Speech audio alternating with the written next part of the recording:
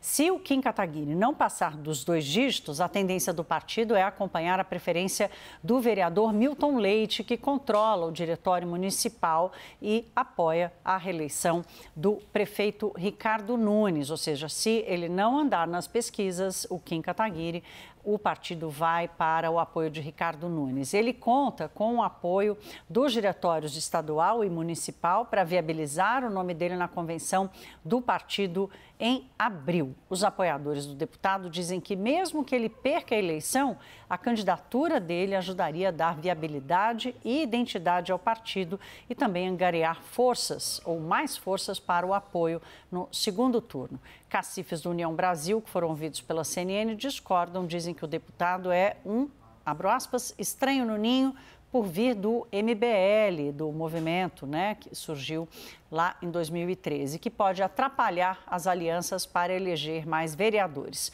O cenário muda, no entanto, se Kim conseguir decolar nas pesquisas eleitorais e ganhar fôlego para chegar com os dois dígitos na disputa.